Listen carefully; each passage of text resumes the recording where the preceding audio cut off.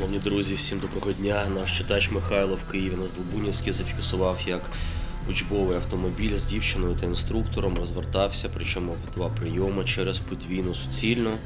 Автівки встали, бачите, почекали.